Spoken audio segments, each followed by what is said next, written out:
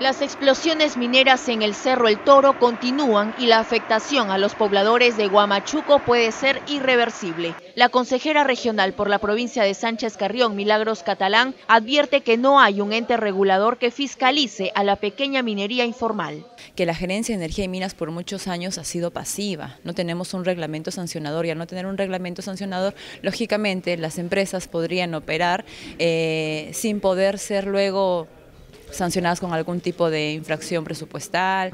Refiere que no se ha establecido un reglamento sancionador para aquellas empresas mineras que generan contaminación aunque la institución que debe tener protagonismo en la supervisión es el Organismo de Evaluación y Fiscalización Ambiental OEFA, previo reporte de la Gerencia Regional de Energía y Minas. Aclaró que las imágenes que circulan en redes sociales de la detonación de dinamita y explotación minera en Cerro El Toro corresponden a años anteriores. Entonces, lógicamente, una empresa puede seguir eh, realizando esas labores o contaminando o haciendo procesamiento de mineral. En la comisión investigadora se evidenció que pues la minera, donde manda a elaborar sus estudios, ellos mismos ven de manera particular solicitan que les hagan el estudio y luego emiten solamente los informes a la gerencia. Digamos que son juez y parte.